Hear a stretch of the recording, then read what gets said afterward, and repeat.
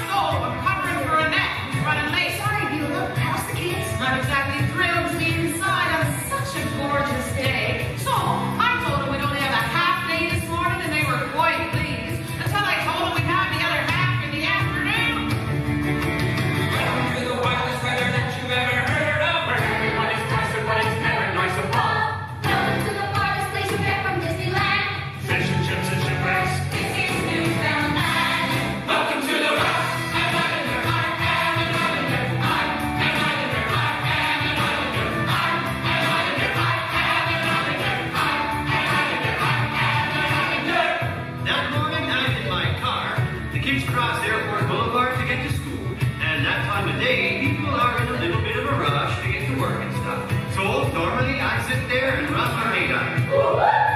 And if they're speeding, I'll stop them and write out a warning ticket.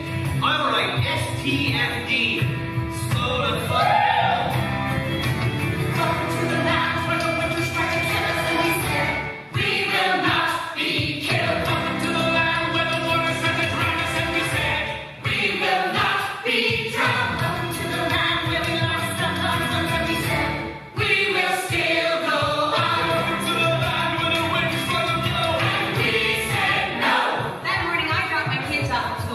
I appreciate. here.